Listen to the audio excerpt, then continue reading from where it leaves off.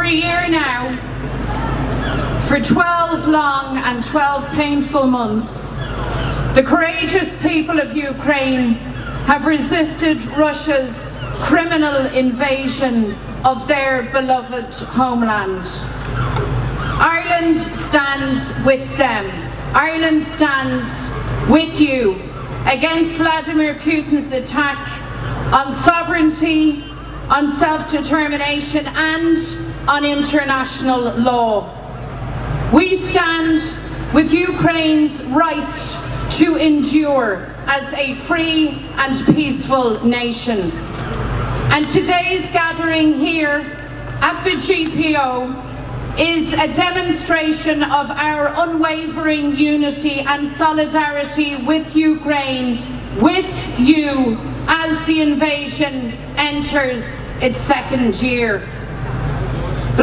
Putin must understand that the international community will remain united with Ukraine for however long it takes to face down his brutal invasion. There can be no victory for Russian military aggression over Ukrainian sovereignty. No victory for a power that brazenly violates international law. So Putin must immediately withdraw his army and end his criminal invasion.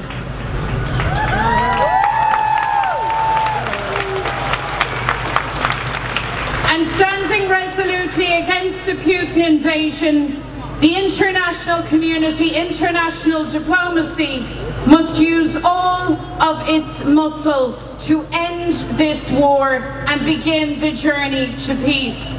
And this, of course, must be a lasting peace based on the values of democracy, integrity and the rule of international law.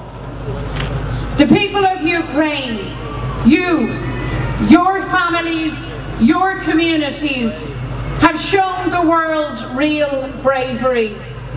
You've shown the world that you will not give way to Putin's onslaught.